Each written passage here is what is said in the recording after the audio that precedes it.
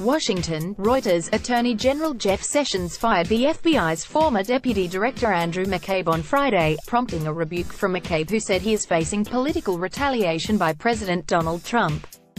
Here are some of the highlights of his lengthy statement. I have been an FBI special agent for over 21 years. For the last year and a half, my family and I have been the targets of an unrelenting assault on our reputation and my service to this country. Articles too numerous to count have leveled every sort of false, defamatory and degrading allegation against us. The president's tweets have amplified and exacerbated it all. He called for my firing. He called for me to be stripped of my pension after more than 20 years of service.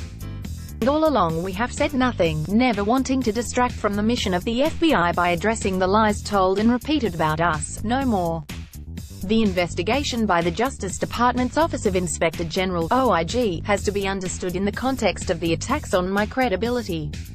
The investigation flows from my attempt to explain the FBI's involvement in my supervision of investigations involving Hillary Clinton. I was being portrayed in the media over and over as a political partisan. The FBI was portrayed as caving under that pressure, and making decisions for political rather than law enforcement purposes. Nothing was further from the truth. In fact, this entire investigation stems from my efforts, fully authorized under FBI rules, to set the record straight on behalf of the Bureau. The OIG investigation has focused on information I chose to share with a reporter through my public affairs officer and a legal counselor. As deputy director, I was one of only a few people who had the authority to do that. It was not a secret. It was the type of exchange with the media that the deputy director oversees several times per week. The investigation subsequently focused on who I talked to, when I talked to them, and so forth. I answered questions truthfully and as accurately as I could amidst the chaos that surrounded me. And when I thought my answers were misunderstood, I contacted investigators to correct them.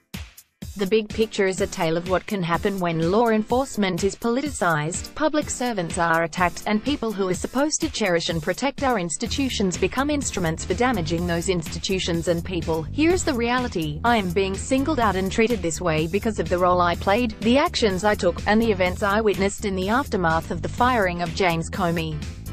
The release of this report was accelerated only after my testimony to the House Intelligence Committee revealed that I would corroborate former Director Comey's accounts of his discussions with the President. The OIG's focus on me and this report became a part of an unprecedented effort by the administration, driven by the President himself to remove me from my position, destroy my reputation, and possibly strip me of a pension that I worked 21 years to earn. This attack on my credibility is one part of a larger effort not just to slander me personally, but to taint the FBI, law enforcement, and intelligence professionals more generally. It is part of this administration's ongoing war on the FBI and the efforts of the Special Counsel investigation, which continue to this day. Persistence in this campaign only highlights the importance of the Special Counsel's work. To have my career end in this way, and to be accused of lacking candor when at worst I was distracted in the midst of chaotic events, is incredibly disappointing and unfair. I have unfailing faith in the men and women of the FBI and I am confident that their efforts to seek justice will not be deterred. Reporting by Sarah N. Lynch, editing by Nick McFewer Standards. The Thomson Reuters Trust Principle